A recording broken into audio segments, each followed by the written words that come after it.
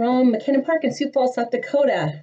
So I like talking about chapter four on terror and chapter six on embarrassment back to back, as they have a lot of similarities as to why they are important things for us to embrace in order to create and or explore art. So first, we need to define the difference between embarrassment and another word that many times I hear people use as a synonym, which is shame.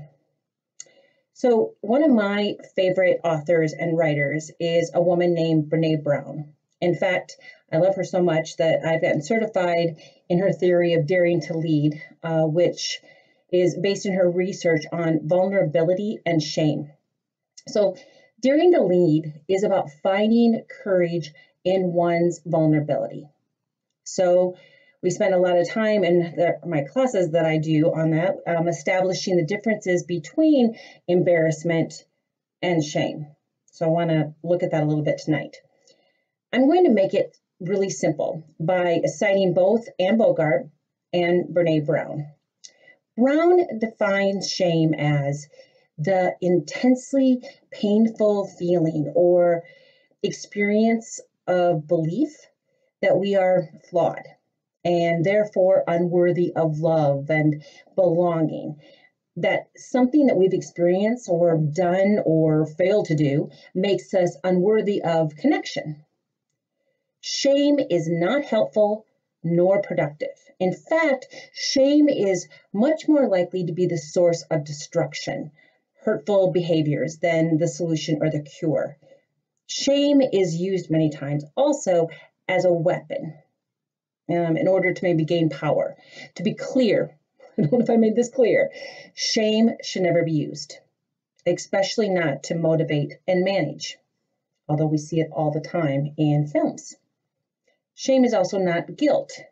Guilt is something that you put on yourself, but shame, shame is placed on you. Okay, for example, I can feel guilty that I didn't spend as much time with my children, right, when they were younger. So I was trying to establish my career. And this may be, uh, result in me being what a better mother to them today or more of a more attentive grandmother, knowing now what I didn't seem to get back then. All right, that can be guilt.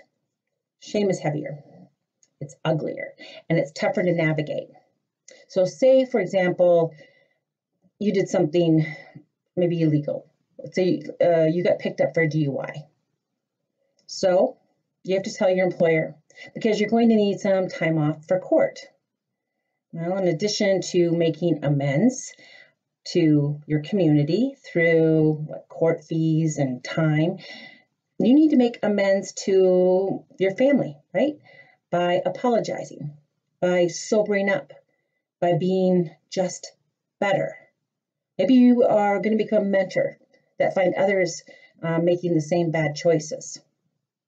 But your boss, maybe seven years later, says something to you like, well, you know, we kept you despite your drinking problems, so you are naturally going to have to continue to work longer and harder than Mary over here, who has never been picked up for anything illegal or anything that they know about. See, that that's shame. So think about this in your own relationships. Are there people in your life that tell you that you are not smart enough, you're not pretty enough, you're not good enough, you're not educated enough? And as human beings, we are broken, but we cannot be defined by our worst moment. We find films are all made of, a lot of films are made of that particular thought. If someone in your life is doing that to you, though, or you are doing to someone else, you better make it stop because it is shame and it is damaging. All right, embarrassment, this chapter, whole different ballgame. Bogart addresses it in the beginning on the bottom of page 115. Usually, we think of embarrassment at worst shame and at least self consciousness or awkwardness. However, the etymology of the word means to be an obstruction. So it's uh, something that gets in our way. Embarrassment, therefore, means to hinder, to complicate, to impede. You tell I'm doing a lot of crossword puzzles while we're home. Anyway, Bogart writes, I like to think of embarrassment as an obstruction we encounter that helps us clarify our mission. See, this is where I think terror and, embarrassment are a lot alike, as they're both good teachers. Bogart even says that in her book. They're good teachers. That is, you risk learning nothing if you always avoid anything where there is embarrassment as a possibility. Specifically, Bogart says if you try to avoid being embarrassed by what you do, nothing will happen because the territory remains safe and unexposed. To, avo- to avoid embarrassment is a natural human tendency. And feeling truly exposed to others is rarely a comforting sensation. But if what you do or make does not embarrass you sufficiently, then it's probably not personal or intimate enough. I think that is so, so, so true. I mean, I am a theater professor. I have a BA in English. A song from Avenue Q, by the way. I have an MA in theater and I have a terminal degree in specifically theatrical direction. Okay. I have directed over 120 shows, New York to Idaho. I have been taught or mentored by some of the most amazing academics and theorists and directors in the world. Me, me, a girl who just grew up on a farm outside of Garretson South Dakota. I mean, how does that even happen? Who told me, someone who graduated with 31 people, that I could travel the world, that I could learn for the rest of my life? I've really thought about this.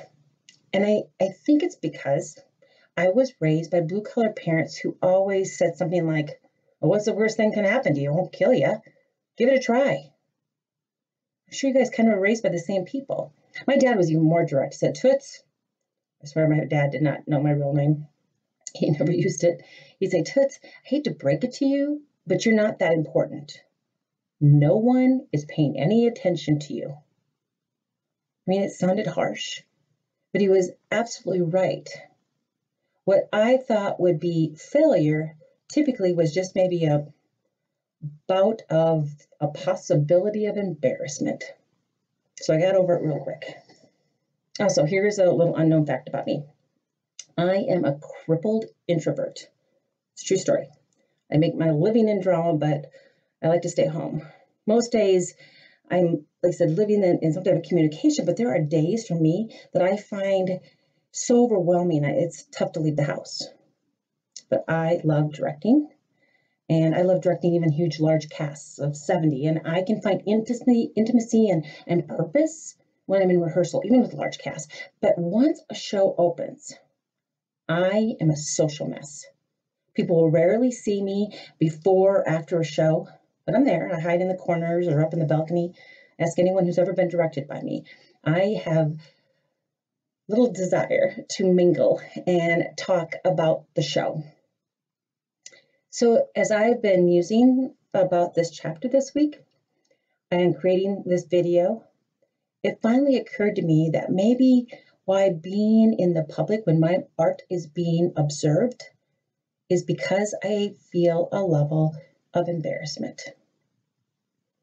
Do I want the community, which includes my family and friends, to be entertained or moved by production? Absolutely. But do I want to make small talk to have to explain it? No, no, I don't. I I can't explain the depth of work that is typically on that stage the analysis, the relationships, the choices, the entire six to eight week process in some quick two minute passing without risking coming off as sounding simple or trite or maybe even the opposite, maybe pretentious, which would be worse. And I think that that small talk maybe kind of embarrasses me. I must do it as I have to lean into that risk that I may have to point them to something deeper, um, which maybe was embarrassing for them if I pointed out. I, I don't know if this makes any sense. Um, I'm just kind of throwing it out there and I'm going to continue to chew on this. It's been a real kind of revelation for me this week. And here's a moment that I maybe would love, love, love to have you respond to this for me. I mean, challenge me to look at this differently. And do not, do not be embarrassed to offer your opinion. To be honest, that's kind of how I came to this class. I was a I was really a bit embarrassed walking into it for the first time. I've had those moments of, oh my gosh, I'm a fraud. My students know I'm a fraud, which made me look long and hard at who I was in the classroom, be honest with who I am as a teacher of arts, what I can offer, and what could elevate all of our thought processes and experiences when it comes to watching art, or specifically in this case, movies and film. Because I risk embarrassment, I continue to evolve, and I hope so does this class. I mean, think about it. Even in the email that I sent a couple days ago, I asked you to be kind as I learned how to navigate new technology, and I used my age as an excuse. That was me being a bit embarrassed that my videos will be come off less than what cool or professional because of some type of ageist stereotype. But I did it. I'm I'm doing it. Bogart includes a lot of stories about small-minded actors responding to roles as if they already have that character all figured out. I'm telling you, there is nothing worse for a director, film stage, than that. I mean, I, at least I feel that way. I mean, can you imagine if all the amazing actors that you watched thus far entered the studio ready to film, but then says to the director, uh, yeah, no need to offer ideas. Uh, thanks anyway, Spielberg. I, I, totally understand this character and uh, I'm ready to shoot. I mean, we certainly would not be able to experience some of the raw performances that we've seen so far. I mean, for example, Gabby Sidibe and Mo'Nique and Precious. I mean, those are raw. Those were happening in the moments, and those were directed, and people finding themselves. And Timothy Hutton and Mary Tyler Moore, David uh, uh, Donald Sutherland in Ordinary People, or maybe Liam Neeson, Ralph Fiennes, and Ben Kingsley in Schindler's List. I mean, these were people that were vulnerable and risking some embarrassment. Man, these are these are performances dripping in it and can only result if the actor is willing to open themselves up to moments of unknown through the process. Okay, the beginning of page 118, Bogart outlines 10 things to consider as we, actor or teacher or police officer, a nurse, computer tech, I don't know, insert your occupation, as we welcome and work through tough moments of embarrassment. Okay, I'm not going to list those 10 things as you're all reading them. Um, but they're all really pretty great nuggets of advice. I'm going to point out a few pages and sound bites that resonate with me. Um, and then I'll be posting some extra stories to add some flavor. The paragraph that begins with a director cannot hide from an audience because intentions are always visible, palpable, I think it's really par- a paragraph that's rich with truths. Again, I think audience, I hate quote marks, but audience could be substituted with classroom, boardroom, I mean, whatever room of which you are trying to show your own mastery, right? I mean, right now it might be your living room, as most of us are working remotely um, or homeschooling. Bogart continues and says, an audience, an audience senses your attitude towards them. They smell your fright or uh, condescension, right? Talking down to them. They know instinctively that you want only to impress or conquer. They set, sense your engagement or your lack of it. Again, this is her telling us that great moments, like, like you talk about those conversations that you've cherished, those projects that surpassed your expectation, um, and art that lives eternal. I mean, real art that lives eternal can only happen when contact is real and worthy and that embarrassment was risked. then she really, really kind of lets us have it. She says that in order to grow as a human being, and certainly as an artist or a patron of the arts, which hopefully you will all be, you must be um, ready to live in the following, right? Know these things. Number one, it matters how you treat people. Number two, it matters how you take responsibility in a crisis. Three, it matters as to what you value. Four, your politics matter. Five, what you read, and I and here I would insert what you watch, from TV to news to films, matters. Number six, how you speak and which words you choose matter. I say this over and over. Rhetoric matters. Five, you can't hide. I'm going to post a story about my friend Jack, who's really a great artist. He's a true Renaissance man, and how these things mentioned above have and are affecting his current quality of life. So I'll post that. I'll label it simply Jack. How's that for generality? And Jack has chosen to approach, approach embarrassment in a way that's negatively affecting his life. Also, I want to point out that this book that you have, your textbook, was published about 20 years ago. I mean, how amazing to contemplate these things that she just I just went through these one you know how do you treat people? Um, how are, are you um, responsible in a crisis? What do you value? What are your politics? And are you brave enough um, to hang on to what you believe to be true within your politics or your ethics? This one right now as you did was it different four, four years ago or six months ago or yesterday.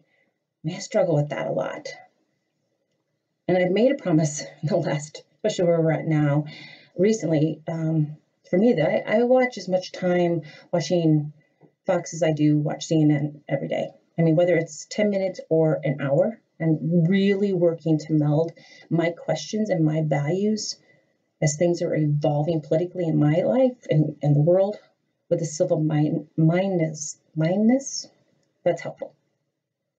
What you put inside your brain via media or literature or the arts is important? Are you being compassionate with your words?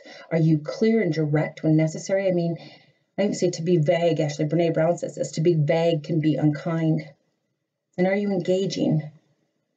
Again, to be passive does not result in anything progressive, from love to life to art to you name it. And for those of you that are left brainers in the world, okay, those that respond to science and math and maybe this whole appreciation of, appreciation of art is new territory for you.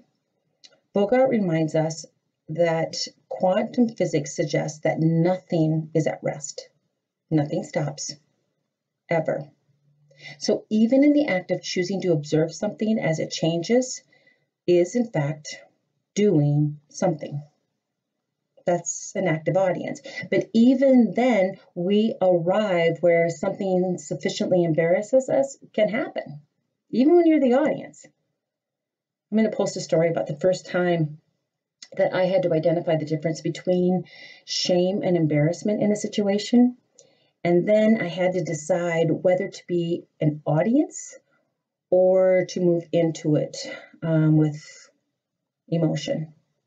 Um, I'll label it uh, the Women's Project. All right. Take a look at the bottom of page 127 and read that last paragraph, which continues on with some interesting ideas for the next couple pages. We talked about this um, in TEAR in that many times we are our own worst obstacles to getting exciting work done. Konstantin Stanislavski, the creator and director of the Moscow Art Theater at the turn of the century, we talked about him as in class when we were talking about acting, um, created ways for actors to do this. But they work, these, these ideas that he puts together, with anyone who strives to have authentic conversations. To be believed as an actor, he, she, must be in the moment, actively listening, being and they have to do it every single day as they perform the same play with the same words, with the same actor in the same space. So, how is that different from the lives we live? We go to the same jobs with the same colleagues. We come home to the same house or apartment with the same family. We all seek things from one another, right? Stanislavski taught us method acting, which we spoke about again in class. He also created language like the magic if, which is very similar to GOAT that we covered in class when talking about what characters want, right? GOAT, G, goal. Who has what we want or need? What is it that we want at the end of the scene or the end of the conversation? O, obstacle or the other, and understanding that relationship. T is for tactics, which is how we get what we want. And we know that a pull tactic is much more effective than a push. And of course, E on the goat is the expected outcome. Did it work? How did the conversation or the scene end? Did you reach your goal or not? My favorite sentence on page 130 is habit is an artist's opponent. Is that resonating with any of you? I mean, you've heard it's difficult to teach an old dog a new trick, right? I would argue that the dog can learn the trick, but it may mean that the dog and those dealing with the dog will have feelings that are uncomfortable, unbalanced, and may contain a certain level of terror or embarrassment. It won't surprise you that I love, love, love the first paragraph on page 131. It begins A director, I'd also insert maybe a teacher's job, is not to supply answers, but rather to provide interest. Yes. I hope with every cell of my being that you have at least found an interest in film and how to watch it differently thus far this semester. It's a simple equation that has interest that involve revolves to curiosity and then the insecurity because all that means it's a new way of looking at something. And then once you tap into the insecurity, you develop questions, which means leaning into the risk of embarrassment that you don't know something that somebody else might. Whew. Right? Again, all of those words seem like negative, but they all can result in really great things. I mean, that's what you're paying for to ask questions, to be challenged, to be ignited, to learn. I mean, it would totally suck paying for a class where you walk out not knowing any more about the subject or yourself than when you entered. I mean, at that point, you probably deserve a refund, except that then you have to ask yourself, what did I do actively to be vulnerable and curious and embarrassed, right? So Bogart sums up point six on this page by saying, in traveling onward, in pursuing an interest, we experience insecurity. Insecurity is not only okay, it is a necessity. It's a necessary in ingredient. Her point seven uses embarrassment to one's own advantage and growth.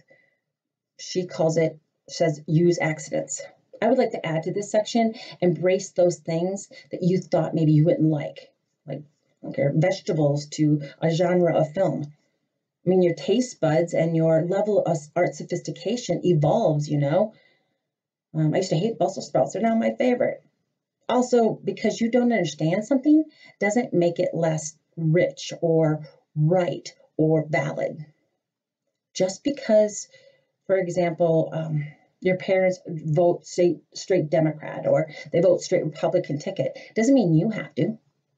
Just because you didn't know anyone transgender growing up doesn't mean they're not there and they're less human.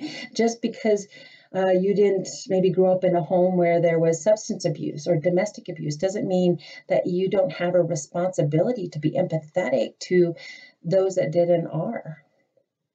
And that's why films and art First films are so great because they invite us into worlds of which to explore our own mores and values and all sorts of humanity. And then, according to Aristotle, you are to use those moments of messiness and um, confusion at times and seek enlightenment.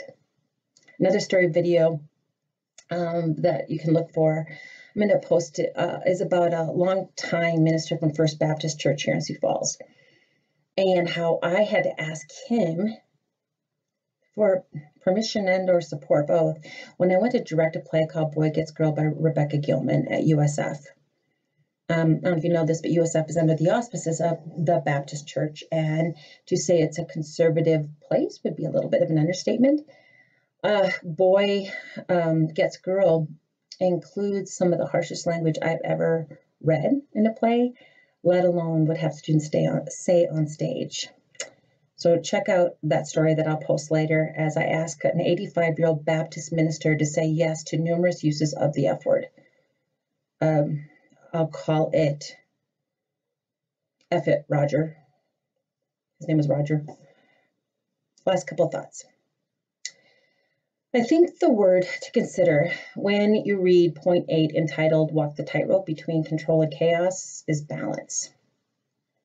Recognize when the unbalanced is so out of control that the potential of the moment may be lost.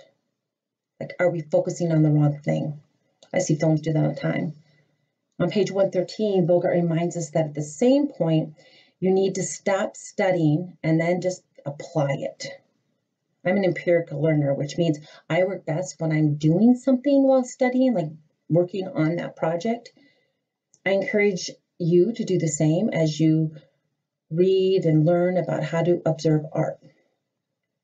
The last page on embarrassment gives you permission to narrow in when need to, when you need to. Maybe instead of trying to come up with what Aristotle would say about the element of thought um, or an extended metaphor when watching one of these know, extra credit films that you're watching, instead pick one and identify just that one character of what you can empathize and then find language for that. Or maybe download the soundtrack because it makes you happy. So I'll leave you with this. There is something endearing about those who can be vulnerable and embrace their embarrassment. To be able to laugh at yourself, but it's attractive. Also, it reminds me of another saying that my mentor, Robert Cohen, writes in his book, Acting One. I have echoed this statement to every cast, every night before the curtain goes up, and it is this an audience will forgive anything but a lack of passion. I have a couple more short, short videos that I'm going to post. One I'm going to call Kim's Golden Rules, and the other one I'm just going to label Teaching Philosophy. I know you are all missing all my classroom stories, of course, and I don't want to deprive you of that when you are already suffering yes, this may be me trying to be funny, which is probably just embarrassing, and which then I hope you find endearing. So now, go watch some films. See you later. Carpe diem.